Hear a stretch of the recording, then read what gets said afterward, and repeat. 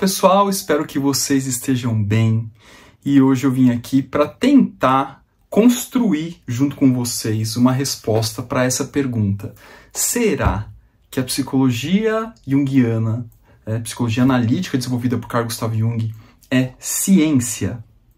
Bem, eu não vou responder tão imediatamente assim. Eu prefiro fazer uma construção aqui argumentativa com vocês para ver se a gente chega em algum lugar. E eu vou, claro, naturalmente, usar o próprio Jung para me ajudar a responder essa questão. Primeiro de tudo, fazendo uma breve reflexão histórica, é, desde o iluminismo é, que acontece ali né, no pós-Idade Média, vai acontecendo um movimento que procura tentar desvendar os mistérios da natureza pela via concreta, pela via dura, pela via metrificável, pela via mensurável. Isso quer dizer o quê? Que os mistérios da natureza não eram necessariamente objeto de menos-valia antes né, do iluminismo. Muito pelo contrário, o próprio Jung, quando é, faz ali toda a ampliação simbólica em torno da alquimia, já demonstra que a alquimia era uma proto-ciência, se a gente olha no que é a ciência hoje em dia, era uma proto-ciência para tentar revelar o que são esses mistérios da natureza. Os próprios filósofos, Aristóteles, Platão, Sócrates, dentre outros, já tentavam formatar uma ideia do que seria uma construção de conhecimento e uma legitimidade desse conhecimento. E aí todo esse manancial é, construído por esses pensadores foi alimentando uma rede de conhecimento que vem até hoje e a gente vai elaborando tudo isso até o ponto que a gente vai chegar no ideal do que é a tal da ciência. E aí o que, que é a ciência hoje em dia? A ciência é essencialmente uma forma é, de conhecimento do mundo a qual, se você aplica métodos específicos, claros, é, muito bem definidos, e se eu replico esses métodos em diversas outras partes do mundo, em situações diferentes, mas que tenham variáveis semelhantes e eu chego nos mesmos resultados, significa que aí eu estou legitimando o conhecimento por via científica. Essa ideia de dureza, eu vou usar bastante essa palavra nesse vídeo provavelmente, mas essa ideia de dureza, de concretude, acompanha aquilo que a gente chama de ciência hoje em dia. Ou seja, tudo que é comprovado cientificamente, é, hoje em dia, né, reforço isso, hoje em dia vem é, acompanhado de uma estatística, de um número. Então, assim, ah, esse remédio ele funciona porque 80% das pessoas tiveram uma melhoria significativa. Ou então, essa vacina é interessante porque ela conseguiu um resultado de 75% de imunidade, é, o que já é um número interessante. Por aí vai. Então, dificilmente é, há um espaço hoje nesse campo científico duro para um tipo de conversa que não uh, enseje uma coisa de número, uma coisa de concretude. Com isso, tudo aquilo que os pensadores lá do passado traziam de psique, traziam de mitologia, traziam de experiências religiosas, foi indo para um lugar, né, agora indo para o campo da psicologia, foi indo para um lugar mais conhecido como cérebro. E aí, hoje em dia, tudo que se pensa em termos psíquicos quase se reduz unicamente a cérebro. E eu não estou falando de cérebro é, tão especificamente, mas eu poderia falar em sistema nervoso, que não é exclusivamente o cérebro, mas toda uma configuração nervosa no nosso corpo, que tem como centro gestor disso tudo o tal do cérebro.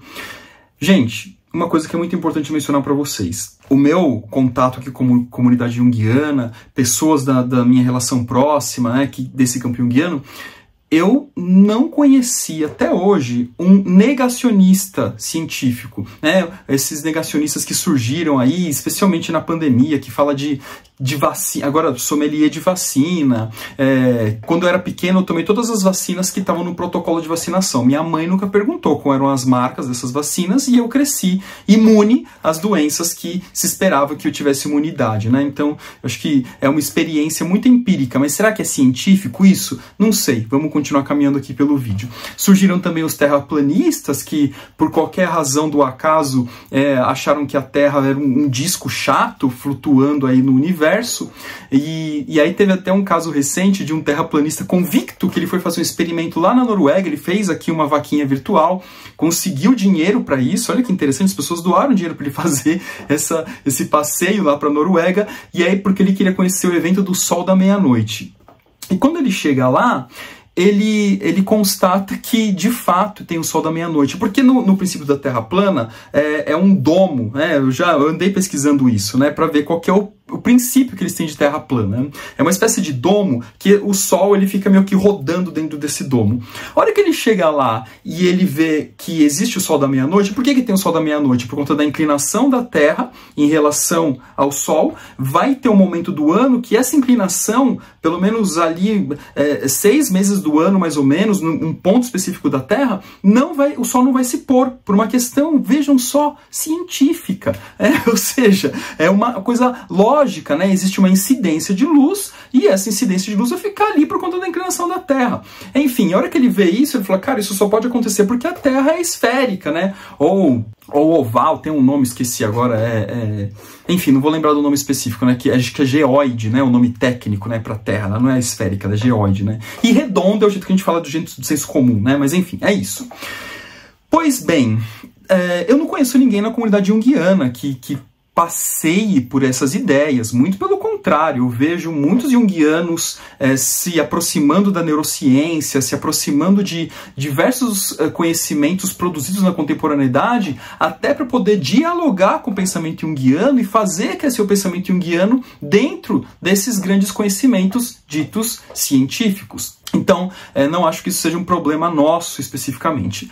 Porém, contudo, todavia, não é raro que apareça alguém e fale assim, mas a psicologia é junguiana, e falando da psicanálise também, mas a psicanálise eu deixo para os psicanalistas defender o ponto de vista deles, aqui eu estou falando da psicologia junguiana, não é raro que apareçam pessoas falando, olha, mas a psicologia junguiana também é uma pseudociência, afinal de contas tudo aquilo surgiu, é, não sei, do livro vermelho, fizeram um comentário num vídeo esses dias que me inspirou a gravar esse outro vídeo aqui que eu achei legal, né? É, comentem, gente, que aí vai inspirando a gente para poder gravar outros vídeos aqui baseado nos comentários de vocês. Então, ah, porque a, a, psicologia junguiana surgiu a partir de um autoexperimento que absolutamente desprovido de legitimidade, porque é enviesado, é uma experiência individual, única. Bom, aí a gente precisa fazer alguns passeios históricos. E aí eu começo. É, eu tenho uns livros aqui que eu quero mencionar, mas eu começo por esse aqui, ó. Estudos Experimentais, volume 2 da obra junguiana. É um livro bem robusto. Ele vai ter aqui, é, contando as referências, mais de 680 páginas, né? praticamente 700 páginas contando as referências. De texto escrito aqui, mais de 670 páginas. O que são os estudos experimentais? Que é um livro, eu preciso mencionar isso, pouco lido, inclusive na própria comunidade junguiana. É, outro dia eu conversava com uns amigos, né, com, com o Balestrini e com o Léo, que vocês conhecem aqui do IGEP também, e a gente estava falando que parece que a comunidade junguiana predominantemente lê os livros do centro, assim, né, no volume 5 até o volume 9, alguma coisa assim, e aí não, e aí não lê as extremidades, né, porque são livros mais complexos, enfim. Este livro, gente, Estudos Experimentais, é um verdadeiro tratado científico no sentido específico, rigoroso da palavra. Se vocês lerem isso aqui, é, tem todo um método específico é, aplicado, replicado, testado, experimentado, é, divulgado em papers, né, em, em periódicos científicos da época, o que traz para o Jung uma, uma visibilidade na comunidade científica e que é uma teoria essencial, construída inteira nesse livro, quer dizer, construída nos experimentos do Jung, mas publicada inteiramente nesse livro, né? Porque aqui é um compêndio tanto da, do, do, da dissertação dele, da tese dele, é, combinado com outros artigos da área. Ele vai demonstrar aqui, cientificamente, o tal do complexo, a ideia de complexo, que, vai, que é uma coisa que vai é, bem além daquilo que o Freud colocou, e o Freud se encanta com isso também, por isso que ele recebe o Jung e eles passam a ter aquela relação é, que ficou famosa na história da psicologia. Um, Então aqui eu tenho um Jung muito científico. Mas aí talvez venham os questionamentos e fale assim, mas horas, é, afinal de contas, foi uma pesquisa no início do século XX, é, hoje em dia ela já está defasada. É, e talvez vocês tenham razão quando vocês falem isso, né? Quem se contrapõe, né? Porque eu sei que a predominância das pessoas que assistem os vídeos de JEP aqui estão alinhados com o pensamento junguiano, então não tem nenhum tipo de, de contraposição nesse sentido. Mas acho que é importante esclarecer. É, e aí, gente, eu, eu posso até, é, em partes, concordar que no início do século XX muitas coisas mudaram para agora, né, já quase indo para metade do século XXI.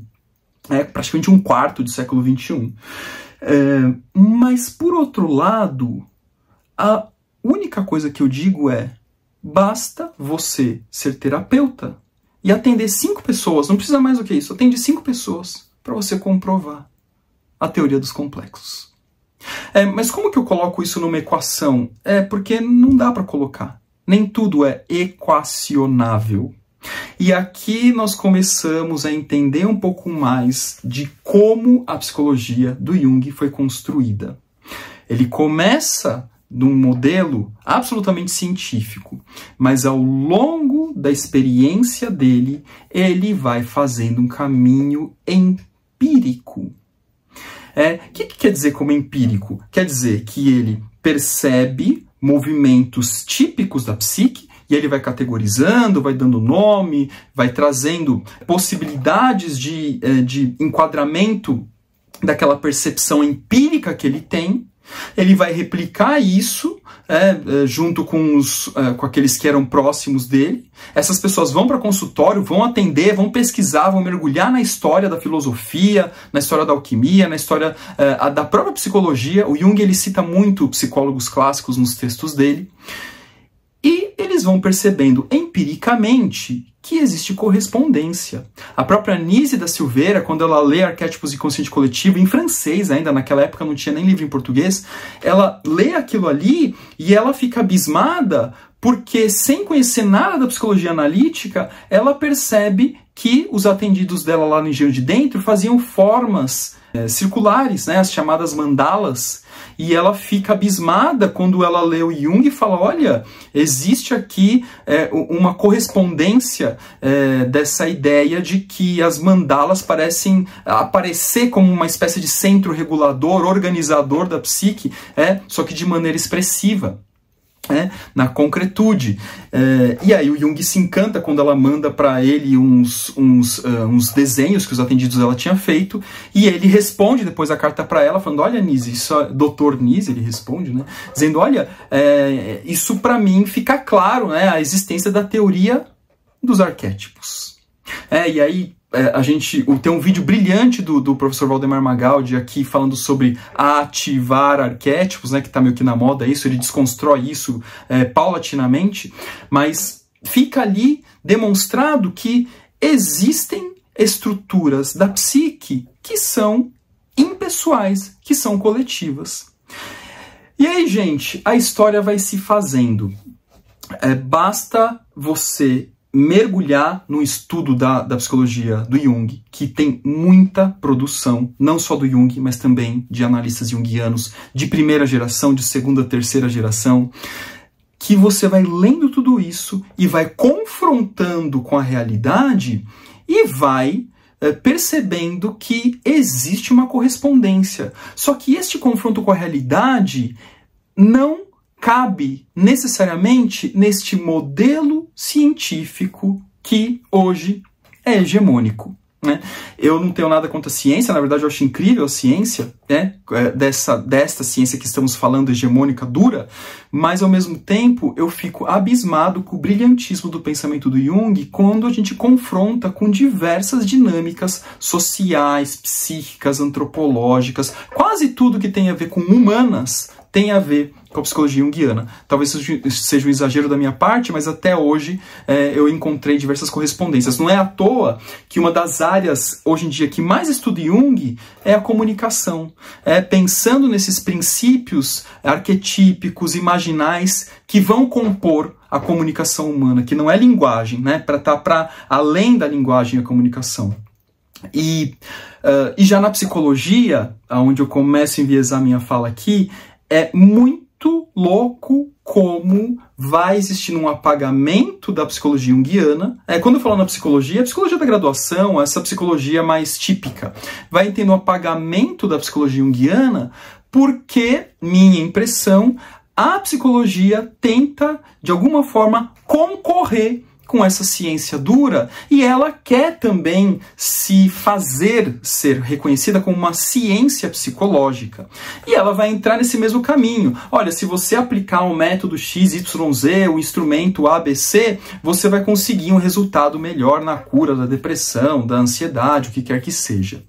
E aí a gente vai ter algumas psicologias que surgem lá no comportamento, lá com Pavlov, com Skinner, coisas que a gente aprende na faculdade de psicologia, né? Lá na época que eu estudei há mais de 20 anos atrás. Uh, e vai sendo construído hoje a psicologia que me parece a mais forte, no, no, pelo menos nos Estados Unidos e aqui no Brasil, que é a terapia cognitivo-comportamental.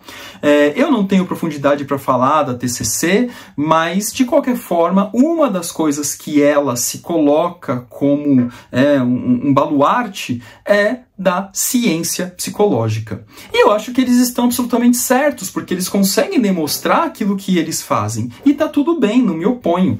Agora, até aí dizer que a psicologia junguiana não é ciência, nós precisamos dar dois passos para trás e tentar voltar na base da ciência e não associar ciência à concretude, como eu falei lá no começo.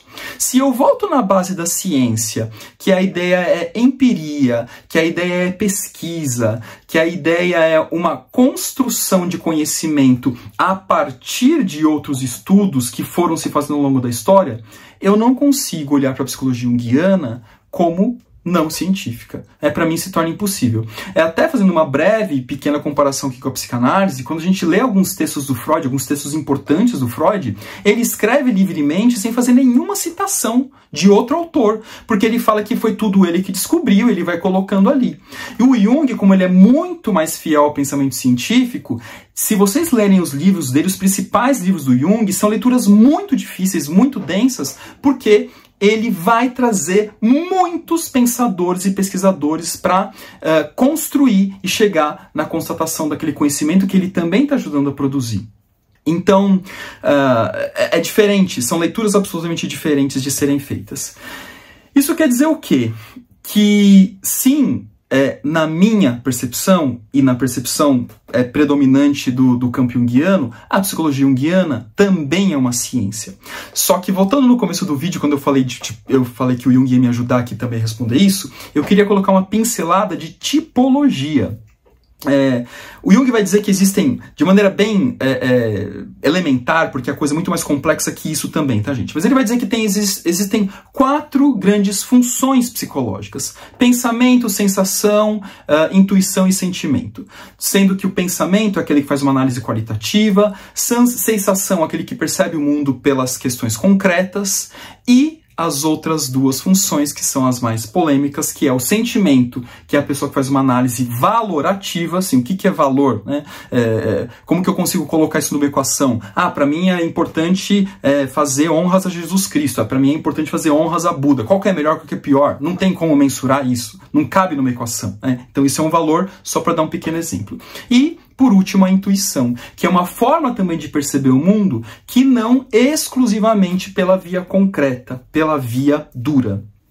E isso, uh, por si só, já fala que hoje o que nós chamamos de ciência está baseado exclusivamente em pensamento e sensação.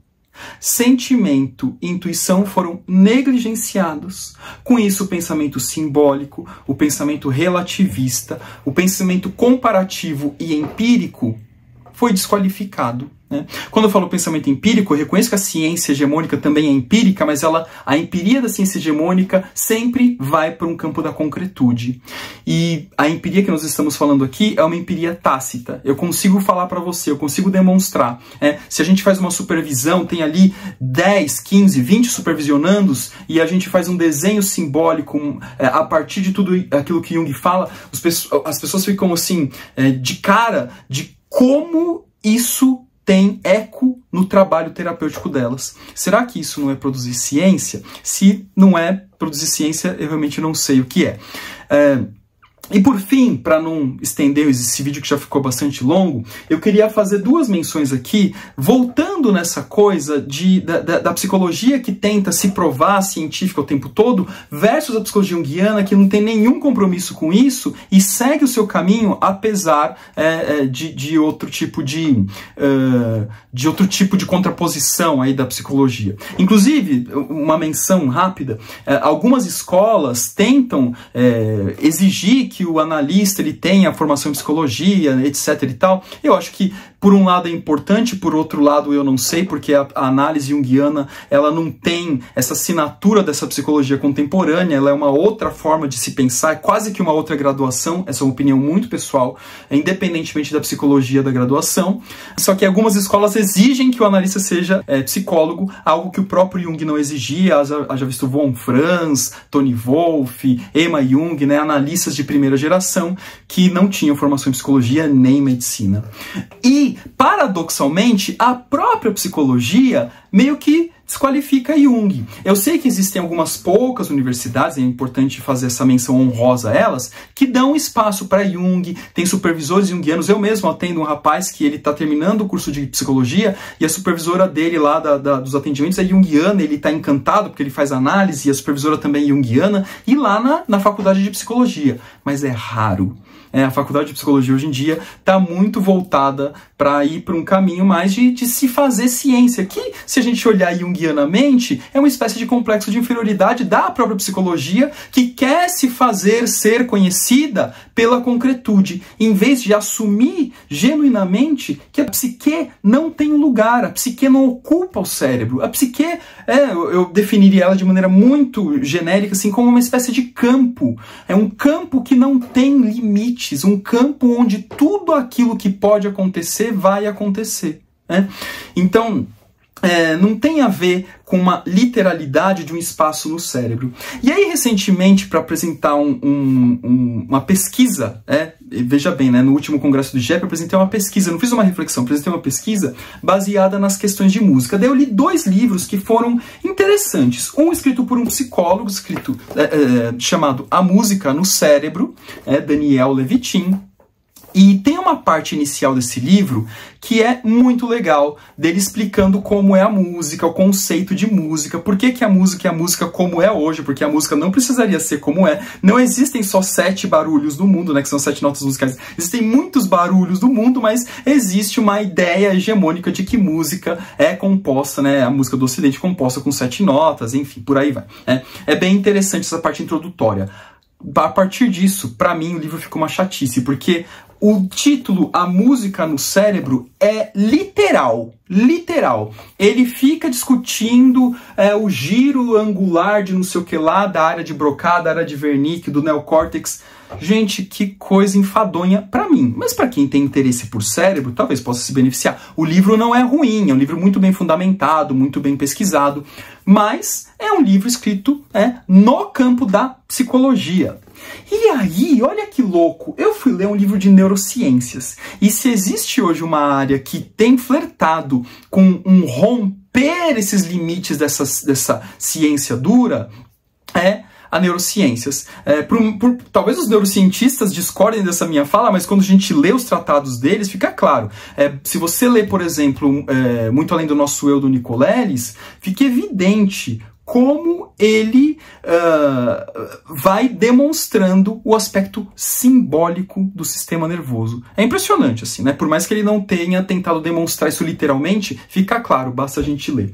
E aí eu fui ler outro livro sobre música, que é do Oliver Sacks, né? Já falecido, um neurocientista famosíssimo no mundo e muito famoso exatamente porque ele escreve muito bem e traz, e traz casos é, tidos como absurdos aí na, na história da ciência é, neurológica. E aí eu leio esse livro, né, Alucinações Musicais, relatos sobre a música e o cérebro, e eis a minha surpresa, que é um baita livro simbólico. Apesar de ele falar relatos sobre a música e o cérebro, ele entra num campo simbólico de imaginação da música, é, a, essa percepção da música, o sentido e o significado da música, independentemente da área do cérebro, mas o que significa o sujeito. É um dos casos que me chamou muita atenção, é um que ele relata aqui, que o sujeito teve é, uma amnésia, né? ele não se lembrava de nada, mas quando colocava ele em frente a um piano, ele tocava. Né? Por mais que ele não se lembrasse de nada. É, ah, isso curou a amnésia dele, mas segundo a esposa dele, consta aqui no livro, é, ela percebeu como a música trazia para ele um alívio, né? um certo alívio desse sofrimento, por mais que ele continuasse naquele estado de amnésia. E o Oliver Sacks em nenhum momento ele se preocupou em saber que parte do cérebro estava a música dele, mas é, entendeu que terapeuticamente naquele contexto a música era muito importante para ele. Então, esse é só um exemplo de diversos outros que tem aqui. É um livro muito riquíssimo. Quem gosta de música vale muito a pena ler Alucinações Musicais. O outro livro também é interessante, mas é um outro caminho. Então, gente, assim, esse vídeo ficou longo, mas achei importante fazer esse caminho só para dizer o seguinte. É, eu lembro que uma vez uma aluna da pós-graduação falou assim: professor, eu tô aqui é, injuriada porque me falaram na graduação que a psicologia junguiana não é ciência. E eu tentei falar que é ciência sim. E eu falei, fica tranquila. É, depende do entendimento de ciência que a pessoa que falou com você tem. Se ela entende que ciência é uma coisa dura, concreta, num tubo de ensaio, é, de quantidade XYZ, ela tem toda a razão. A psicologia junguiana não é ciência. Agora, se ela autoriza que o campo simbólico, que o campo empírico, que o campo comparativo, mitológico, religioso, em termos de reflexão, entrem também nesse processo de de construção de conhecimento, a psicologia junguiana é uma ciência e, digo mais, uma das mais nobres e uma das mais difíceis, porque isso enseja também o auto-experimento, que o Jung coloca lá no livro vermelho apenas como um exemplo de auto-experimento, mas para dizer que todos os analistas também têm que se auto-experimentar para poder saber o que está acontecendo no campo da análise. Então, é, acho que consegui construir de maneira relativamente fundamentada aqui para vocês, mas está aberto aqui o espaço para comentários para vocês também tecerem suas considerações a este longo vídeo tentando explicar se psicologia junguiana é ciência ou não. Não tem uma resposta fechada e vocês vão chegar nas constatações que vocês puderem chegar a partir das reflexões que eu coloco aqui. Um abraço e até mais.